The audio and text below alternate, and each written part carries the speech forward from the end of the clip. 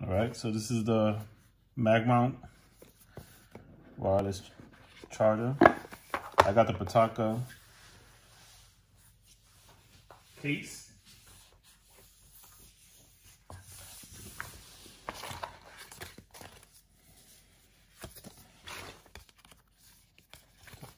Little uh, instructions or whatnot.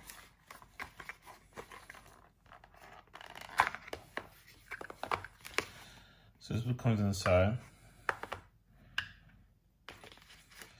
So it looks like it has one you can mount, I guess on a dash or somewhere else, if you don't want to put on the vent.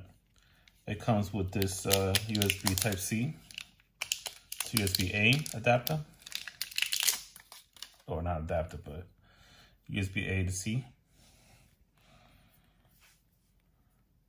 I could have swore I saw some videos and they had a little bit more of a premium uh, wire, but whatever. All right, this is the interesting. So this is the vent, but it looks like it's it doesn't stretch much. Let me see. Okay, well, I'll figure it out. Anyway, let's check it out. So you pop it in the back. And then you just make sure this is down so it doesn't, when you pop it in, it doesn't mess up. I'm gonna use the vent one. It's probably the best bet. And you put the USB-C here. Let's test it out. All right, so one small problem with these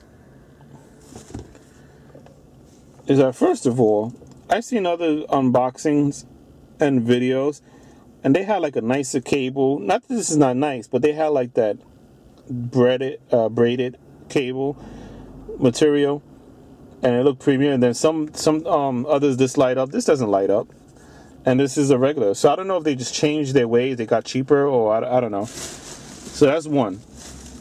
That's not the big deal. The big deal, I mean, it works it works, right? It does. And it's pretty strong. It's, it's decent. The problem is this. It moves. That's the problem. It moves. And when I'm driving, it goes this way and it goes this way and it just so uh, granted this is the the one that's up and down not, I'm sure if I put it in that type of vent, it'll probably be more stable. But it's still a problem. So I'm gonna put it now on the one that's stable and see. I'm gonna put on this one now.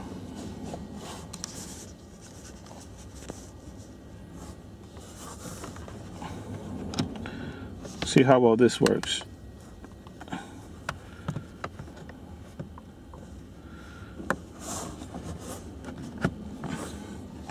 Now I want to make sure that this is, okay, there you go.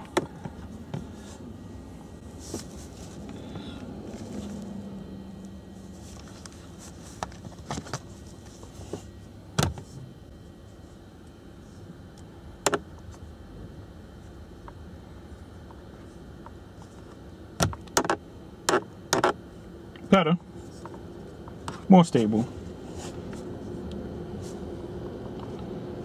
So on this side it's fine, it's more stable, so I'll probably just keep it on that side for that reason. Or I could use the little thing that it comes with and then stick it somewhere on this side, but yeah, that's it.